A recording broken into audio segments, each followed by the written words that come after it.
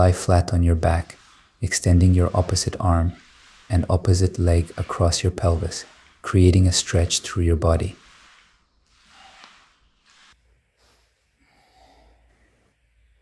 Keep your legs and arms fully extended, ensuring your feet are flexed towards you.